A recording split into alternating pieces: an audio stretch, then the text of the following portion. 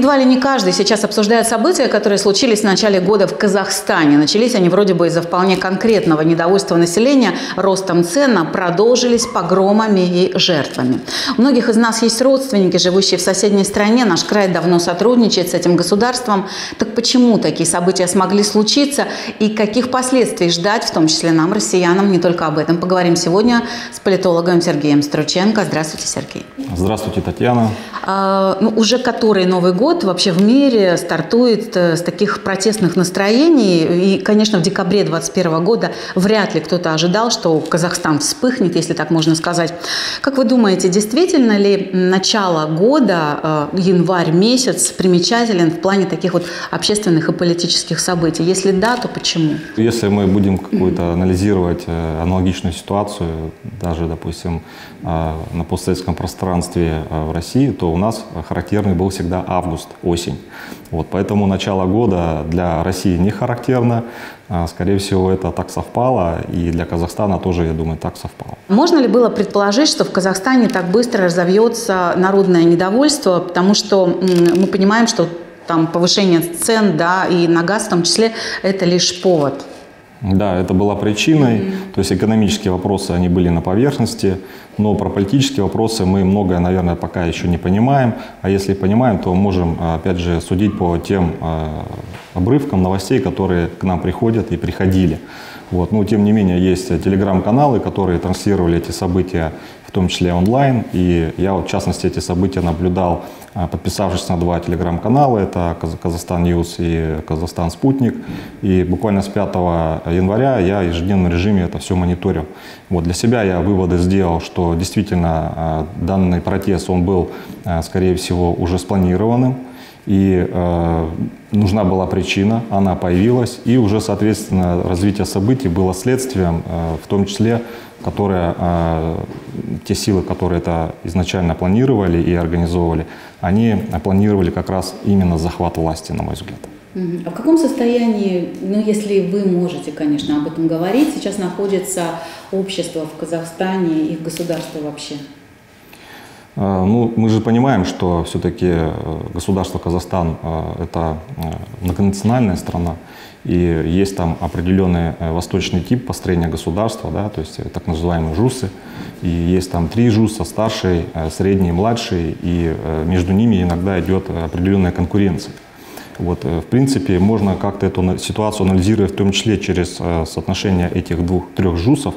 И дальнейшие события, они, конечно, будут, скорее всего, в таком же вяло текущем проходить характере.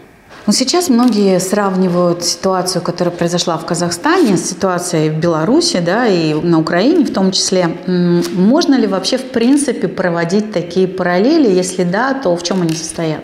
А, единственное, можно параллели проводить по а, тем организационным моментам, которые мы видели на территории постсоветских. Я не хочу сейчас ограничиваться вот именно вот этими только угу. странами, но а, мы должны прекрасно понимать, что когда а, в начале 90-х Советский Союз прекратил свое существование, дальнейшая работа заинтересованных структур, в том числе и международного характера, по дальнейшему развалу, она продолжилась. И спустя 30 лет, в принципе, мы видим, что сейчас эти события происходят на Казахстане, ранее не происходили в других Э, постсоветских республиках, и Украина и Белоруссия здесь не исключение. Часто довольно-таки, да, э, в таких историях политики многие уверены, то, что существует некое иностранное вмешательство. Да, в плане Казахстана в этом обвиняют, допустим, и Россию, в том, что есть влияние с нашей стороны. Что вот вы об этом думаете и вообще в принципе об влиянии из, из других стран? Ну, если по России, то здесь позиция нам четкая и понятная. А, Казахстан а, был когда-то частью единого государства, опять же, вспоминаем Советский Союз. И после а, распада Советского Союза был подписан договор о коллективной безопасности. Как раз вот в мае этого года ему исполняется 30 лет. В рамках этого договора Тогда это было 5 бывших советских э, республик, потом еще несколько присоединилось. Создали организацию ОДКБ. И в рамках этой организации 30 лет такая работа проводится. И, в принципе, а, каким-то вмешательством это назвать нельзя. Опять же, есть э, э, европейский у нас, э, Евразиатский экономический союз, да, в рамках которого бывший Советский Союз, союзные республики осуществляют торгово-экономическую деятельность. Поэтому какое-то вмешательство я бы побоялся этого сказать. Вот. По вмешательству извне, имеется в виду из дальнего зарубежья, ну, да. это вмешательство однозначно есть.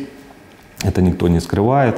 И э, вмешательство как и военно-политических блоков да, напрямую, так и э, граничащих государств э, под различными, в том числе религиозными мотивами, пытается влиять на политику среднеазиатских республик.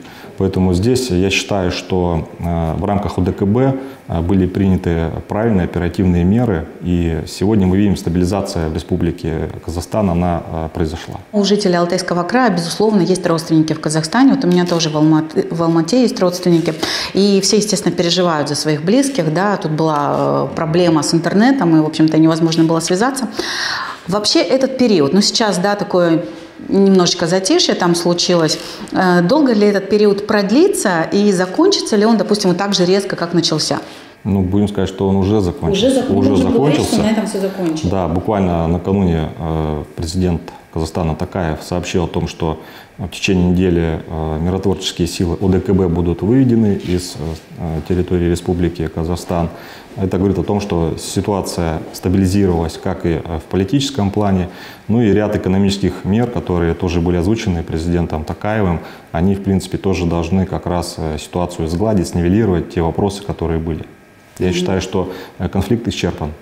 То есть этот конфликт мог бы длиться дольше, да, если бы там не участие каких-то миротворческих сил наших, я так понимаю? Я думаю, что не только участие миротворческих сил, но и э, определенные политические консультации проводились. Я думаю, что здесь э, участие руководства, в том числе и нашего государства, имело э, действие. И мы видим, что Э, мы были в первую очередь и заинтересованы, чтобы не было э, разжигания такого конфликта. Потому что мы понимаем количество километров границ э, с Россией, то есть это больше 7,5 тысяч границ только у Российской Федерации с Казахстаном. И по территории Алтайского края идет 10% от этой.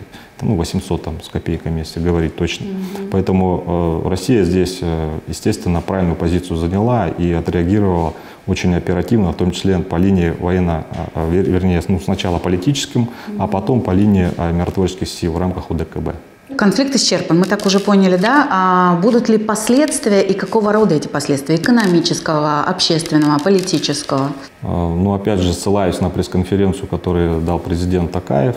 Он сообщил, что предстоит ряд мер экономического характера, а, то есть э, по организационным э, моментам уже решение было произведено, назначен новый премьер-министр, а, прошла смена ряд ключевых тоже министерских должностей. И сегодня а, речь идет о том, что будут э, проводиться уже экономические, в том числе реформы, о том, что сейчас те корпорации, которые сейчас определенные долю национального, так сказать, продукта имеют в Республике Казахстан, а, они сейчас будут э, какую-то часть перечислять в фонд э, благосостояния республики. Соответственно, я думаю, что эти, в том числе денежные средства, которые перейдут от корпорации, они поступят а, через другие какие-то государственные механизмы а, населению, ну, тем самым, чтобы, возможно, повысить уровень заработной платы. Ну, чтобы да. общество тоже немножко успокоилось. Да, да, ну, естественно, естественно, потому что потребность мы услышали и увидели э, есть. А что касается политических каких-то последствий? Были версии о том, что, возможно, будет изменение в Конституцию Республики Казахстан, э, какие-то, да, в плане государственного устройства. И это, скорее всего, да, действительно такое произойдет. А, ну и не знаю, как вопрос будет решен или не решен по досрочным выборам. А, значит, национальный парламент, это все как бы будет зависеть от руководства нашего соседнего государства, а, дружественного нам государства. Поэтому здесь мы будем, конечно, в первую очередь наблюдать и э, сопереживать. А вот чего нам, россиянам, ждать, э, потому что мы ближайший сосед Казахстана вот сейчас после таких э, событий? Это не только торгово-экономические, это и вопрос, связанный с туризмом, да, то есть очень много отдыхает на территории и, опять же, и к нам приезжают. Поэтому э, я думаю, в этом плане, э, конечно, э, мы должны это все вместе пережить, эту э, ситуацию непростую. И для, в том числе, приграничных территорий, я думаю, что, конечно, необходимо дальше э, налаживать э, вот это сотрудничество, сотрудничество между нашими государствами. Вот, э, мы понимаем, что есть и межличностные да, отношения в плане родственных отношений, а есть и вопросы, связанные государственного уровня. Поэтому их тоже нужно развивать, поэтому никто никуда не уходит, все а, продолжают работать в рамках а, и организации ОДКБ, и в рамках Евразийского экономического союза. Как думаете, стоит ли ждать волны мигрантов вот сейчас э, из Казахстана? С учетом стабилизации ситуации в настоящее время ничего подобного произойти и происходить не будет. То есть все, кто Может. уехал, э, хотел уехать, те уже уехали, получается, да? Или как? Ну, разные причины. Кто-то по рабочим вопросам уезжает, кто-то по личным вопросам, кто-то наоборот возвращается. Поэтому здесь мы не можем, как бы, у меня сейчас, к сожалению, нет конкретных цифр, сколько уехало, сколько вернулось. Но в рамках программы мы знаем, что у нас есть э, на федеральном уровне программа поддержки соотечественников, то есть предоставляется определенное э, финансирование на переезд, помощь. Эта работа, конечно, продолжается, поэтому здесь нет ничего такого особенного. Это во многих странах мира есть. Но волны не будет. Волны? Нет, ни в коем случае. Опять же, некоторые пророчат, что вот такие недовольства, они могут прийти скоро и в Россию, потому что у нас почва тоже якобы такая же раскаленная, как и в соседней республике. И вот якобы в Казахстан мы глядимся как в зеркало. Да? Что вы об этом думаете? Я бы все-таки не стал усугублять эту ситуацию. А, мы же прекрасно понимаем, что а, те силы, которые извне заинтересованы в подрыве на постсоветском пространстве, э, в том числе и политической, внутриполитической ситуации, они полномерно работали, работают и будут работать. Поэтому а, в этих вопросах у нас тоже есть определенные навыки, опыт работы и по линии МИДов, и по линии э, военно-политического блока. Поэтому я здесь э, как бы никаких не вижу аналогий с Россией. Вот. А работа, которая, конечно, э, сейчас из нее проводится, она будет продолжаться. Это бесспорно. И финансирование есть определенных. Мы прекрасно понимаем, кто эти люди, кто эти организации представляет на территории, в том числе России. Поэтому здесь, я думаю, каких-то новостей мы не откроем. Спасибо, Сергей. Спасибо, Татьяна. А я напомню, что сегодня мы говорили о ситуации в Казахстане с политологом Сергеем Струченко.